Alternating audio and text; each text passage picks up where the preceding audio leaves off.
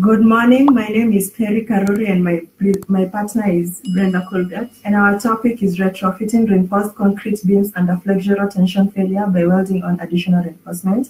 Our supervisor is Mr. Njoki. For introduction, buildings undergo various compromises due to some common causes such as errors during design, those shown below. Two possible solutions exist to stabilize such structures. You can either replace the whole structure or retrofit it. Retrofitting refers to the process of strengthening existing structures to enhance their performance with new technologies.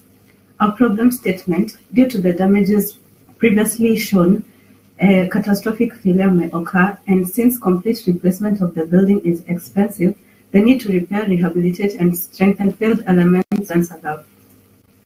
Objectives Our general objective was to retrofit reinforced concrete beams under floor tension by welding on additional reinforcement. For specific objectives, to determine various material properties of concrete and to investigate the effect of on additional reinforcement in improving the flexural strength of the beam, and to compare the flexural beam of the beams using different treatments.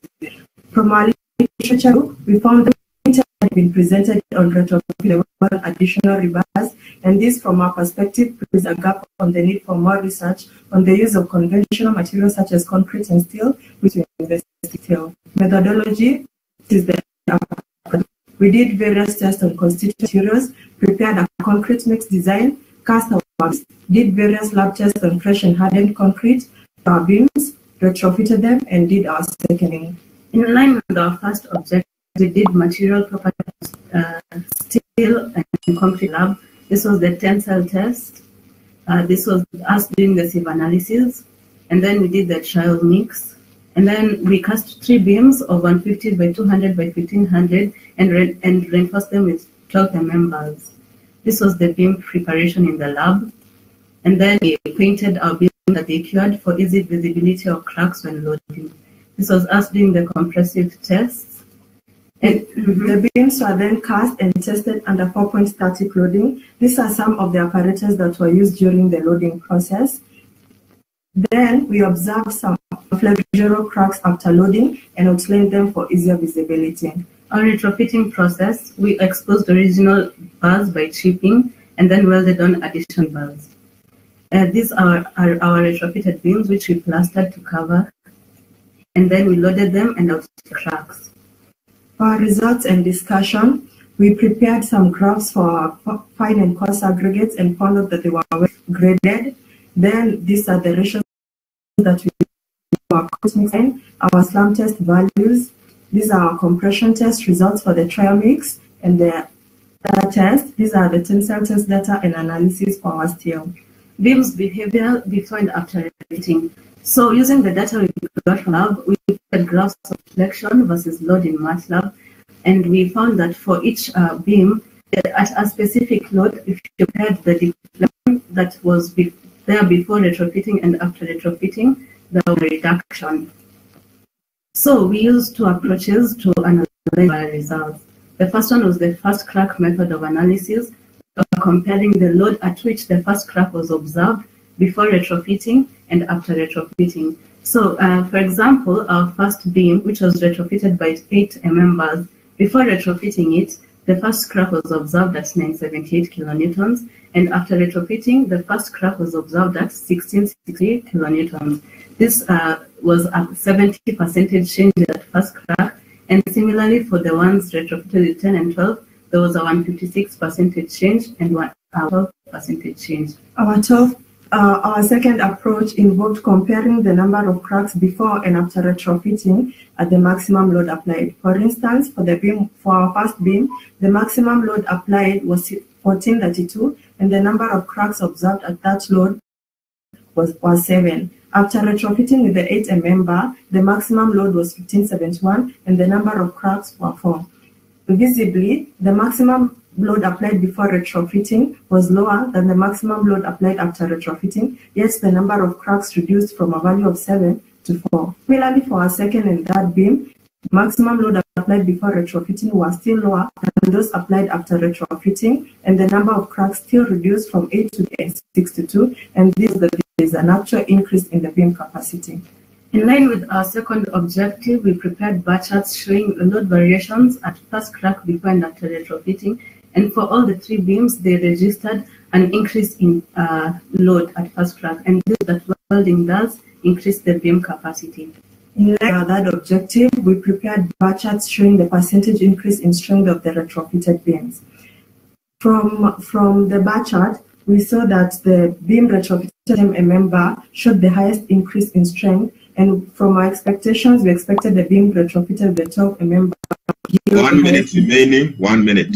Would yield the highest increase in strength. However, this was due to the fact that the beam 3 was concrete that had a higher slump value, and the strength increase was still significant comparing the weaker concrete, and this shows that the beam actually performed well. So our conclusion, welding on rebars can successfully be used to strengthen reinforced concrete beams, and high diameter bars do lead to increase in strength. Also note the beams that were retrofitted with 12 members registered percentage decrease in cracks.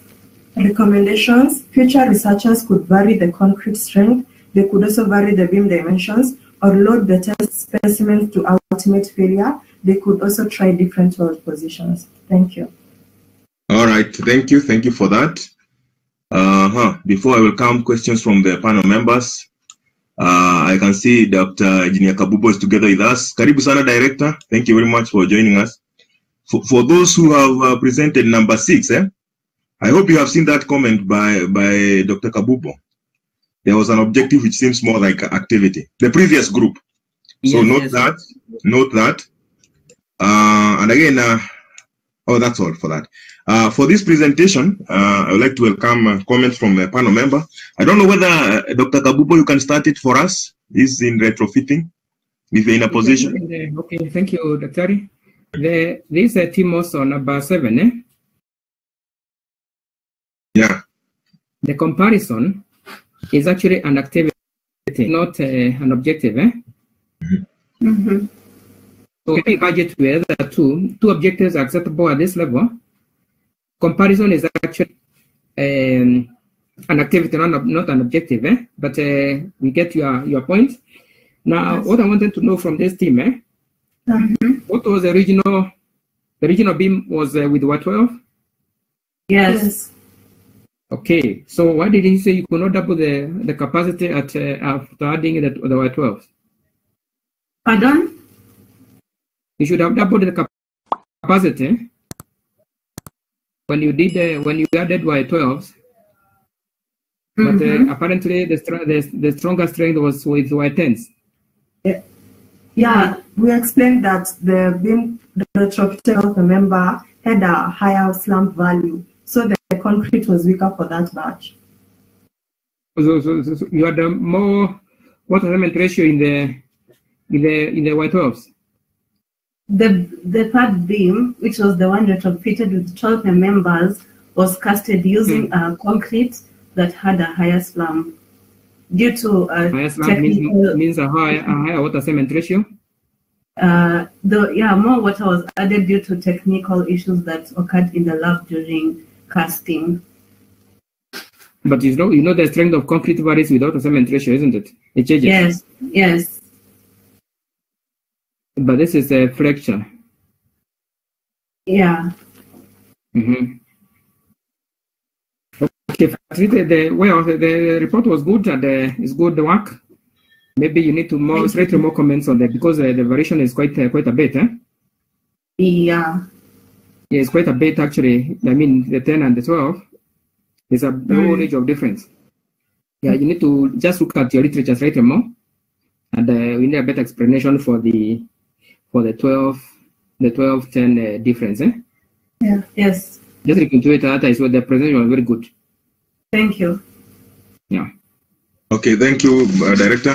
Uh, Engineer Odero, any comment on this?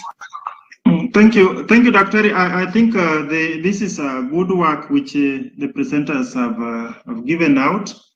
Uh, I think we need to amend more of this kind of study so that at least uh, uh, True, we true. see a difference Yeah, yeah, Now- exactly. Mm, Now, on uh, your, just on the presentation, which was generally okay, but uh, on the data, uh, one of the slides you are presenting the deflection versus uh, uh, load. Um, I'm just wondering, could it not be the other way, load versus uh, deflection? Oh, Maybe you, you can check that again. Uh, yeah, that one. Yeah, that one. Yeah, that, that, that maybe if you could present load versus deflection, uh, it could be much better. Yeah. Then uh, on the choice, maybe in the future, on the choice of uh, choice of the material or the the reinforcement to be welded back, uh, have you thought about maybe what are factors which dictates the choice of the reinforcement that should be used to to do the the retrofitting or welding? Maybe Yeah. you haven't thought, but maybe that's something for the future. You may give it uh, a thought. But otherwise, your presentation was okay and your study is, uh, is okay. Thank you. Thank you. Thank you. Oh, okay, just a few comments. Eh? Uh, I'm looking at the, my list here, number seven. It seems like you changed your title. Eh? Yes, we changed our title uh, during the proposal from the plastic hinge to flexural tensional wear. Okay, okay. Uh, Yeah. Then eh, I'm looking at the, the original title that I'm seeing. Eh? Yeah. You, you, are- you are reinforcing after the, the uh, you, you are reinforcing or retrofitting after the reinforcement has developed a, or the beam has developed a plastic hinge. Eh? yes. So in this now research, eh, I wanted to know when, at what stage did you uh, say now, because I believe you are testing the beam first, then Yeah. it, it fails, Mm, then you retrofit, is it? yes. Because that, that's what will happen on site. Like you want to retrofit something that is the structurally deficient, is it? yeah. So in your experiment, how did you determine like now at this stage, this beam has failed, and then I need to retrofit? We observed the number of cracks. We used the cracks to to figure out that. Uh, Yeah, so we were comparing the cracks that we were observing before retrofitting and after retrofitting and noted the difference. And uh, we saw that there was a reduction in num- the number of cracks at higher loads the second time. So that is how we came up with our conclusions. uh, that's interesting because it's subjective. Eh? Because it's it's based on uh, it's based based on you might be reinforcing. Of course, uh, um, the reinforcement might not have yielded, is it? Basic, Yes. eh, essentially, it have not because of course uh, even the Poisson ratios of concrete and steel are quite different. Eh? Yeah. Now, okay, I, I, would, I would like to go into detail about that eh, because, of course, you changed the title, but it's it's an interesting point to decide when to retrofit. The other thing is that uh, after when you are retrofitting, you you remove the concrete so that you can expose the rebar. eh? So Yeah. uh, uh, you covered that. You are saying you covered that using plaster only mortar. Uh, we used a mixture of fine aggregates Mm. and also we added a coarse, a, a few a smaller diameter coarse aggregates and cement. Oh, that's what I was concerned because I was thinking if you just use the mortar, then uh, you've changed the composition of concrete, the behavior. No, we, we also aggregates. Uh, okay. Yeah. Well, okay, that, that's that's okay, uh, but uh, it, it's an interesting work, and uh, we commend even future uh, undergraduate student to to go this structural way so that uh, we we do some uh, reasonable investigation. All right, thank you. You can exit. Before you leave, eh, before you leave, Oh yeah, yeah. yes, yeah. Uh, I mean, uh, direct, this, this, uh, research is actually two in one. Eh? yeah, In because you- they also, you know, investigating the effect of uh, rebuilding the beam. Eh? yeah, you know, the, the board between the new adult concretes, although it's- it was not there made, eh, because uh, that has been done as a separate research some time back. And then the reinforcement, you see, because uh, there, there's some tests which have been done, effectiveness of uh, of the board between the new adult concrete Mhm. and then now the rebar. So so actually it's commendable that uh, they're combining two tests in one, which is uh, which is good. But uh, as you say, the co- the new concrete should have matched matched with the with the, with the other one the because you see there could be deflection issues. Yeah. Because when you when you change the, the, the E for the for the new concrete, then you have uh, you have challenges in the in the composite action. Eh? Yes. Yeah, so so it's it's, it's fairly good. And uh, look at look at the effect of uh, changing the concrete. You just mentioned it somewhere in your in your discussion Yeah. that uh, you also looked into, and of course, I I guess you cured the the beam fully after rebuilding. Yeah. Yes. Did, did, did. did you? Yeah. Okay, fine. Thank you. Okay, that's good. Uh, so you can exit. Thank you for your presentation. So that we move to s- serial number eight. It's uh, 9.57. You can start. Five minutes. structural performance of concrete beams reinforced with molten recycled plastic and sand re was being presented by me Dennis and uh, My name is my- Mwangi. Yes. So uh, this is uh, what we we will look at. From there, we start with the background information. Research has shown that with time, still rebar is very susceptible to to oxidation when when when exposed to chlorides, which could result to a structural failure with time. Then next to the problem, next to the problem statement and justification, we see that that plastics and rebars have relatively low density, hence hence has lesser loads to the to the to the overall structure. Then the overall objective was that the main aim of this of this study is to assess the the structural behavior of beams reinforced with with plastics and rebars and to compare the mechanical properties of of steel and uh, plastics and rebars the the scope and li, limitations was in forming and shaping plastics and rebars and carrying out tests on beams in the lab and uh, that is our literature review and the far corner to the right that was our cre-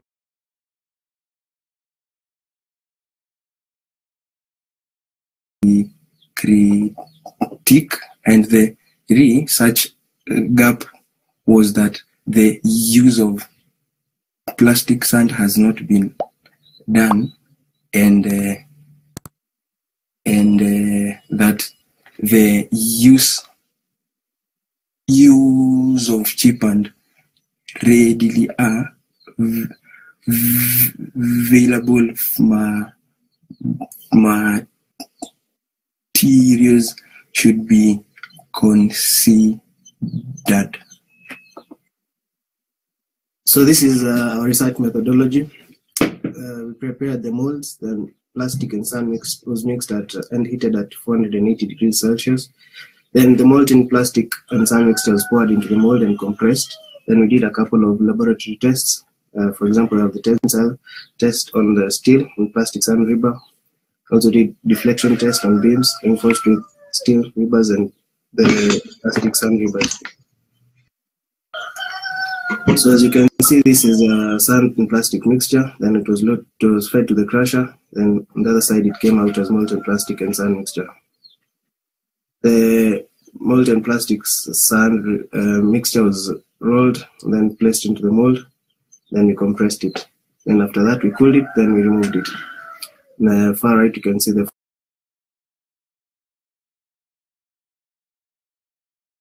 formed river. So we went to the lab to cast. Uh, we uh, obtained a slump of 41 and uh, used some molds to cast the three beams. We had a control, then we had steel and uh, plastic sand rebars as the enforcement. Then uh, after that, we did a steel tensile test. As you can see, we did it on the far left. You can see the image. Then after that, we also did a tensile test on the plastic sand rebar. Then this is a tabulated uh, result of the tensile test on both the plastic and sand, plastic sand rebar and the steel rebar. From there, we did uh, four-point loading on the three beams. This is a load versus deflection graph. Then this is a tabulated uh, deflection test on the three beams. And from there, we move on to One minute remaining. One minute. Okay. From the graph, it is evident that the steel bar rebar has a higher tensile strength compared to the plastic sand rebar. Then we look at the performance of beams. The beams reinforced with steel has a higher deflection span with increasing load, giving it a desirable flexure behavior. The beam reinforced with plastic sand rebar has a very low deflection span compared to the beam reinforced with steel rebar, which has a defle higher deflection sp span. This is due to how the how brittle the plastic sand rebar is. Uh, this is a conclusion. Plastic sand rebars are not suitable for using concrete members to deal with tension, and we recommend that plastic should not be used to form re rebars unless an extra compound is added to enhance the overall tensile strength. This is some of our references. Uh, thank you. Uh, from this point, we are open to take any questions from the Okay, panel. okay, okay. That's that's uh, that's okay. So let's get questions from the members. Engineer Odero. Oh, okay. Thank you for that presentation. Maybe I don't have comment for now. Okay. Uh, I don't know whether uh, uh, Engineer Kabubo, you are still together with us. Yeah, good. Yes, yes, yes. comments? And, uh, the the objectives are still they should be reframed. Eh? Okay. Same concept, but you see, they're still they have still activities to compare to compare. Let him reframe the remaining the same in the same in the same uh, whatever, but then to reframe them in terms of uh, description, compare compare is uh, is actually activities. And then because you see the, the activities will then be just to compare, okay? But the objectives would be something and then it comes to compare. The other thing is uh, the molten sand and the and the plastic. It was being used uh, exclusively without any other form of uh, reinforcement. Pano, guys, Yes, yes. well, we're using it exclusively. Uh, we were trying to curb the oxidation on steel. We were trying to avoid steel. Yeah, I can see still that there's, uh, there's, uh, there's corrosion. Yes. Yes. But what I'm asking, Okay. my question is this: eh? Yes. the plastic, the plastic uh, and the and the sand. We're using it uh, exclusively without without any other reinforcement. Yes. Yes. We used it Okay. And exclusively. now, what what informed that? Because you see, uh, in which we probably look for a gap. Eh? Has anybody tried to use it as a as a tensile material? No. Oh, okay. How did you get the idea?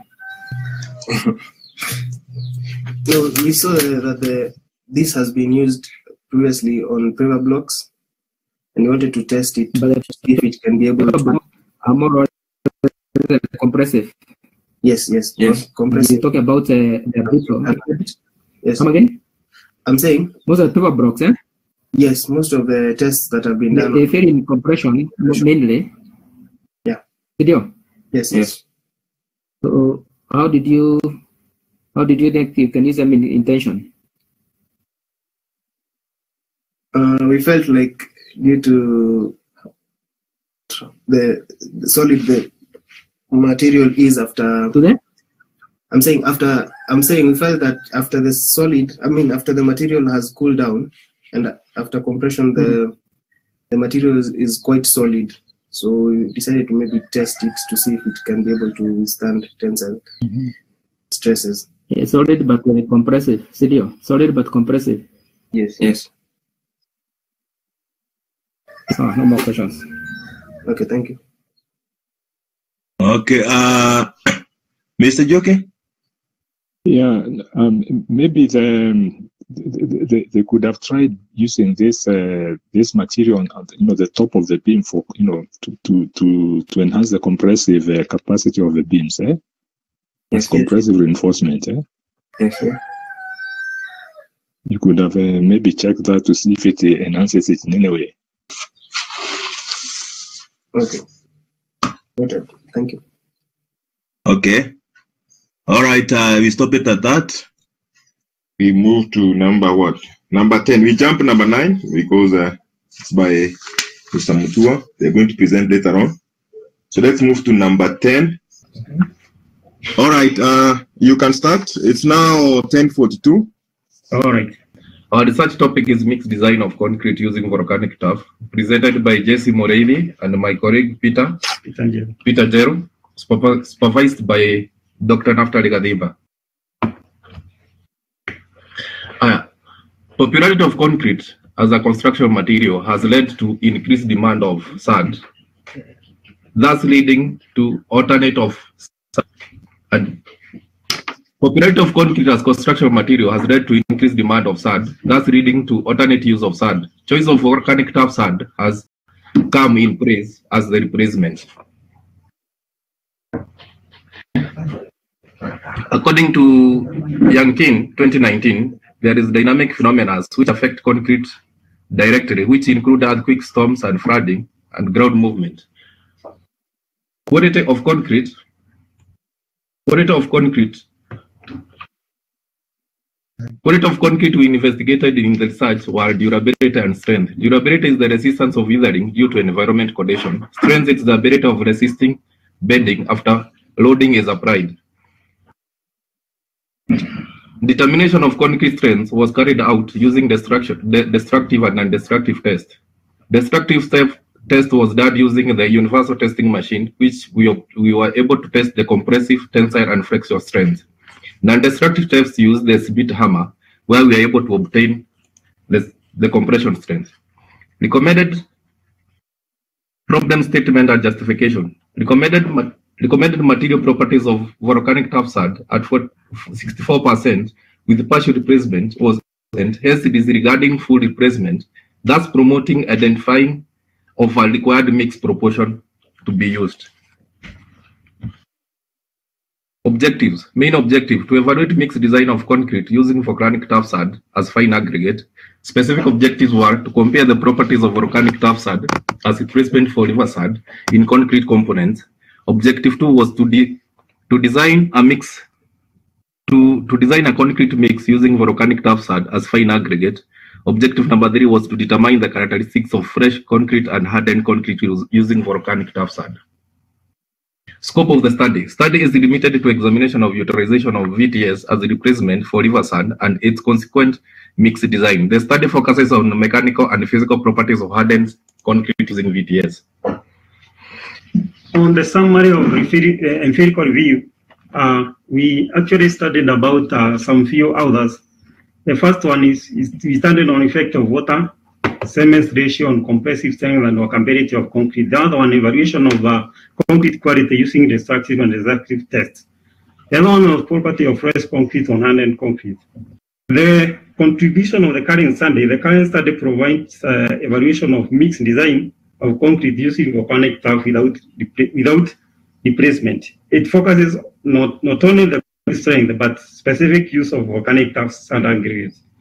It also adopts the experimental approach to obtain new knowledge to, to complement earlier research.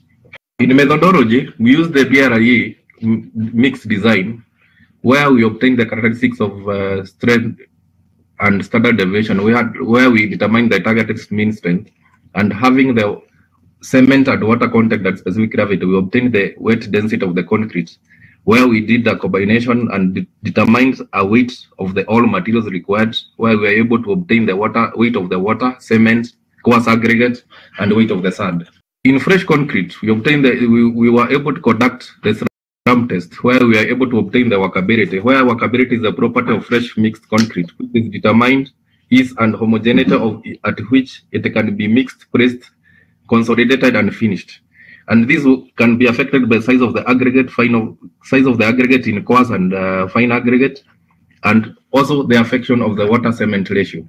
In hardened concrete, we are able to conduct the Schmidt hammer, and and uh, we are used to, we, are, we are able to use to use the Schmidt hammer to conduct the compressive strength and determine the edge of the concrete. Where using the UTM machine, we are able to determine the fractional tense and compression strength. On result and ana- analysis for specific One, one gravity, minute, one minute. for specific gravity, specific gravity of material, also known as uh, particle density, helps to determine overall density of the finished concrete. Whereby we use the BS 812 1995. Uh, in the graph shown, eh, whereby we have the two materials, the VTS and uh, the, the river sand, they are within the range of uh, the, the recommended range where we found that uh, the material grading of condense or was in accordance with the with the BS 82 9 1992. I don't need the competence. Uh, in workability, the SRAM, the, the workability was affected by water content and water cement ratio. So in increase of the water, the workability was declined. For cube strength development, uh, the compression strength results were in accordance to BS 12390 per 3 to 2003, showed that strength increased steadily from 7 to 14 days, then slightly constant from 14 to 21 days. 21 days. Then it in- the, the then uh, from, from 21 to 28, the increase was in a small margin. Then the tensile strength, eh, where we used Conclude, conclude, please, conclude. conclusion. Concrete mixed design of volcanic tuff can be utilized in modern structural difficulties. Desired strength for 25 adopted, adopted in the ratios 1 is to 1 is to 2. Volcanic tuff SAD exhibits pozzolanic qualities which are which were evident in the VTS. In fractional loading, the failure of type concrete was elastic and was after applying the load, it was sudden and brittle in crack making. The strain calculated by the Schmidt hammer was found to be approximately 16 MPa lower than the compressive strain obtained via UTM machine. In our recommendation, further research on maintaining water content constant and impro- plasticizer to produce the necessary workability and then estimating how strength will be affected. Although the study has only taken in account of Portland cement, it would be interesting to see how modified concrete performs when other cement types are utilized. This study focused solely on 20, class 25, which was re- regarded to be bare minimum of the structural requirement. Thus, it would be beneficial to explore other numerous classes of concrete. Okay, okay. Thank you for that. I welcome comments from uh, the panel members. Let me begin. Eh? Yes, yes, Engineer Odero.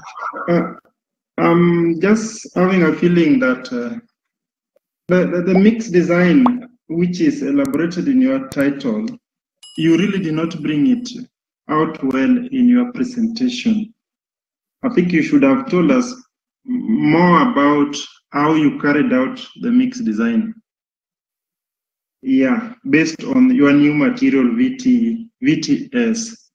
So I did not see that, unless maybe you have some explanation to give.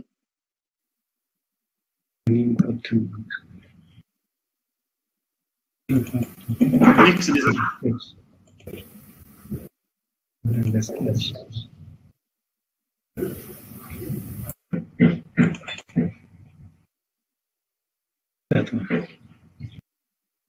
That one, engineer. Okay. Yes. Okay. Okay. Okay. I think I, I, see what you are bringing out, but now I don't know. Yes. You did not explain what was the effect of mixed design. How did it affect your your results also? Okay. But When we think, think about that. Okay, when we use the normal mixed design of class 25, eh, the result that we obtained at the end, the VTS was failing. So we had to readjust the ratioing so that we, adop- we adopted a new ratios, which was 1 is to 1 is to 2, compared to 1 and 1.5 to 3, which is recommended in the BS standards. Okay. All right. Uh, Other comment? the- uh, something else, slide number 13, eh? You told us uh, you could determine the age of concrete using the Schmidt hammer. Yes. How, how can you do that? Look at look at this, eh? Yes. How, how do you determine the age using a hammer? Okay, after we, we, we took the the test, the, the knocks from the concrete, hmm. we were able to read from the graph which was attached in the Schmidt hammer itself. There's a graph. And give the test uh, an age. Then we were able to see the in reference of the days of the concrete. Were you able to determine the, the age? Does the does the does the hammer give you the, the, the, the age of the concrete? The 28th day, uh, when the concrete had matured, it really showed that for the control mix, which is the river sand, Mm. it, it really showed uh, uh, around 27, uh, which was above the 25 uh, Newton per millimeter square strength. You are not answering my question. You use the hammer to test the, the, the strength, but not the age. Okay, and that. Then the, the other thing is, you in the conclusion, eh, you told us that uh, you know you got uh, a lower strength using um, the hammer, isn't it? In your conclusion, you got a lower strength using the hammer, isn't uh, how was that? Yes. Yeah, the, the last uh, conclusion, eh? Yes. 16 MPa lower than the compressive strength obtained by the UTM uh, testing machine, eh? Yes. How do you explain that? Yeah, was finding for the VTS. That, that, this is for the VTS, eh? Yeah. This, this was the comparison between the VTS and the normal river sand. Eh? But then I'm When- saying, you know, you when- see here, the, this Yes. conclusion, Yes. concrete, you know, what you're saying is that uh, if, even if it was some other found, uh, form, uh, type of concrete, Yes. you're telling us that you could have used, obtained a, a lower strength using the hammer. Okay. What, what, what we were trying to The do? hammer, Did you did you calibrate the hammer at all? Yes, we did. But then how could this have been? Because you see, why why would you a normal? What, what's the normal use of a hammer or hammer test? Check compressive strength. Yes, but you see now, if, if you're going to have a strength which makes sense, Yes. you have to calibrate the hammer. And it's expected that uh, the, the strength you get the, from the calibrated hammer approximates or very close to the what you'd get if you did a crushing strength from the UTM or, or whatever other machine. Okay, that's understood. Yeah, you need to you need to actually recheck your work on that. Eh? Okay. Yeah. Thank you, Chair. Okay, thank you. Uh, Mr. Joki, any comment?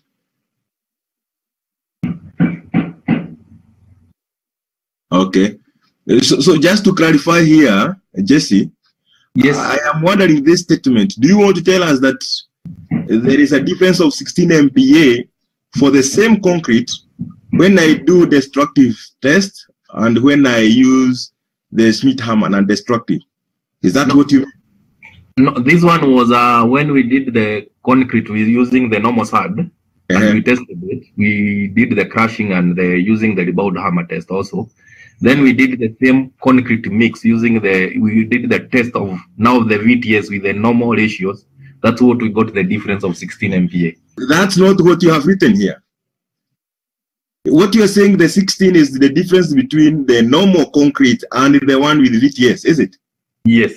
But now what you have written is like if I is the test the same concrete but you are testing. You know that I found uh, you are you are framing you are you are, even throughout your presentation you are you are confusing yourself the, the choice of words because I believe the 16 the way you are explaining is not how you have written it here, and that's why you are confusing engineer.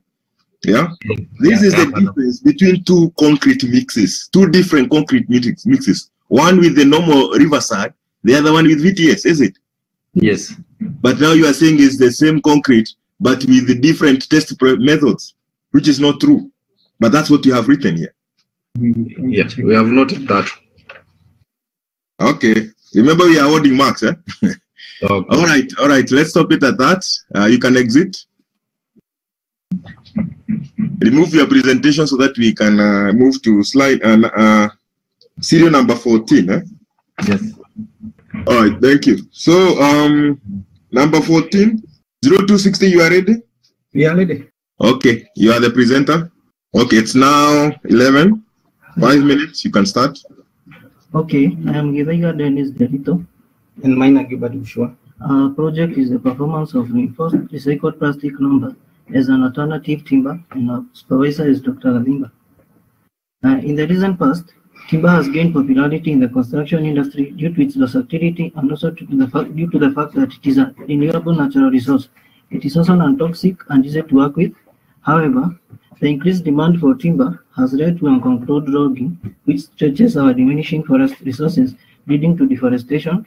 Therefore, there is need to find an alternative material so as to reduce our reliance on timber and also save our forests.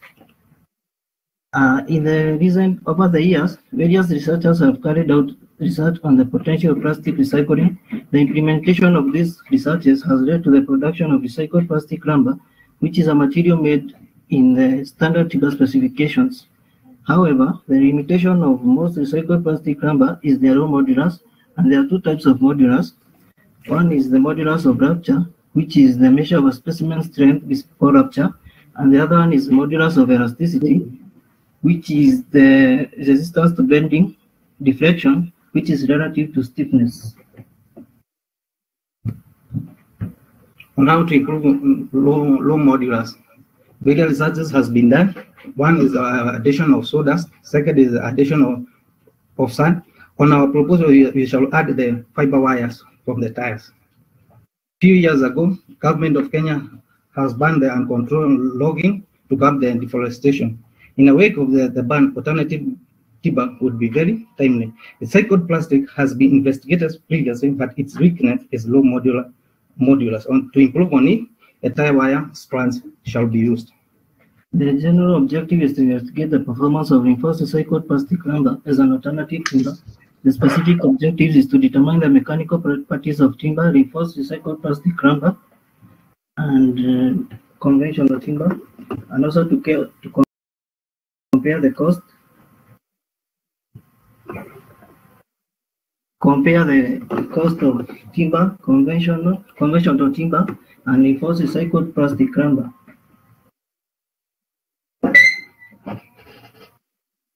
The scope and limitation. The study will focus on the laboratory test based on material investigation and the re- re- matter. The literature review. This is the contribution of various researchers to the to the topic. And the summary of the research gap. While appreciating the work of various researchers, low modulus of recycled plastic lumber inhibits in application as a structural member. There have been attempts to improve the low modulus by trying combination of different materials, e.g. fiber reinforced RPL and wood filled RPL. This study has been carried out by reinforcing recycled plastic lumber using wire strands as their good intention, hence providing alternative timber, plastic, and tire waste man- management in the country. On research methodology, first we do the collection of material and fabrication of bone, melting of plastic, squeezing of the molten plastic into a mold, and addition of wire, wire fibers into a molten plastic, and then laboratizer. Here are the, the pictorial of the fabricated molds, and the second pictorial is the uh, mold with, with, with reinforcement that is still one. This is the methodology we do HDP plastic material collection, shredding, then the then the, the, the pictorial of the The melting of the plastic will be done by the extrusion process. And did the injection mold process. Here we have the squeezing of the molten plastic into the mold. And finally, the cast end plastic lumber. The test that will be conducted is the compressive test for the three samples, the bending test of the three samples, which is the modulus of rupture and the modulus of elasticity. Cost analysis will be carried out by comparing market prices of conventional timber and reinforced recycled plastic and the reinforced recycled plastic lumber. While carrying out cost analysis, the designer must size the members in the plastic lumber structure larger than for a wooden structure. A one-to-one same substitution is not allowable. Yeah. Result and analysis. Therefore, uh, according to our uh, first objective, that is to, to do compressive strength of the timber as our control, then LPM reinforced plastic lumber and reinforced plastic lumber. On timber, we, we had 61.38 megapascal, LPR 22.39 megapascal, UPR 20.75 megapascal. Also, we carried out the, the, the compressive test and determined the modulus of rupture for the three samples. Timber had a modulus of rupture of 64.53 megapascals. Recycled plastic lumber had a megapascal of 10.02, and UPL had a modulus of rupture of 9.08. On module of elast elasticity, the timber has an average of 1851 megapascal. LPL has that one, breathe at 1.4 megapascal. UPL has 1316. Now here is the comparison of, of how the, the materials compare to each other. And we can see clearly from this chart that timber is has a more compressive strength than the other materials that is reinforced plastic lumber and unreinforced plastic lumber. On M1 module of elasticity, timber has the highest, uh, followed by LPL, but uh, the last was UPL and reinforced plastic. Also for the modulus of elasticity, we found that timber had a very high modulus of elasticity as compared to the other specimens of reinforced plastic lumber and unreinforced Okay, one minute, one minute, please. The main reason for this is because the plastic lumber did not cool uniformly, whereas the, the upper part was a solid core as compared to the center of the material, which was more porous and not as strong as the other one. This is the price comparison of the samples. Timber has a price of 59 shillings per foot. For the eco post, which is compared under the factory conditions, it is 100 shillings per foot. And for samples, they cost 406 shillings per foot. The conclusion. It can be concluded from the test that the engineering property of recycled plastic lumber tested suggested that the reinforced recycled lumber cannot substitute the timber structural work, but can be used for non-structural work, e.g. fencing posts, industrial pallet, signposts, etc. Although the reinforced slightly improved the compressive and bedding strength of the, the modulus, MOE and MOR was still very low to compare to the timber. To improve on its modular, further testing to be done by incorporating LIBA or addition of filler such as fiberglass need of to be aggressively explored if this product is to be utilized in structural application. Okay, all right. Um, a question from the panel members. Uh, Engineer Kabubo, uh, Engineer Odero, Uh, no, no comment for now. uh, Mr. Juke. Yeah, yeah, I think the the, the work is good, uh, but I would just like to comment that um, actually once you you have confirmed something which is uh, is uh, is usually ignored, that timber is actually a very robust construction material, and maybe we should be doing more research on uh, the various ways we can enhance the use of timber in construction, since that's the one mate- that's the one material we have control over, eh? as far as uh, reproducing is concerned. So, so maybe that's for the future to see how we can actually um, embrace timber more in our construction industry. Okay. Um, What I can also say is that, um, you know, we are, we are reducing, you are, we are reducing the use of wood products, eh, which is good. eh? Yes. You know, because uh, you see, you've not been able to use this material as a, as, as a, as a timber, but, you know, zero on the fact that you're replacing uh, wood products because you see the logging was to stop uh, us use the, the, the wood products. Eh? Yes.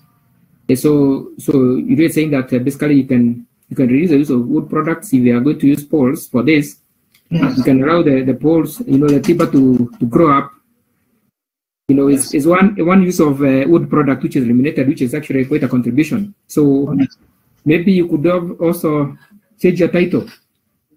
Okay. Yeah, you could change your title because you see you've not gotten uh, the material as timber, but you're saying Yes. trying to replace the use of wood products, which eventually become, you know, which should be conserved to use uh, for to be used for structural purposes. So you're giving us a replacement, which is which is a which is a good thing. Okay. So look at your title with your supervisor. Yes. Because at least you've given us some contribution. Okay, thank you. Yeah. Okay. And then to all other presenters, this is not a proposal, this is not is final presentation. We do not want to see your budget and time frame. Yes. Okay. Yeah. The other So thing we- is uh, we don't want to see to compare to compare, please. Eh? Okay. We don't want to any any comparison. Okay. That's not an objective. It's an activity. Okay. Yeah. Thank you. Okay, you can exit so that we move to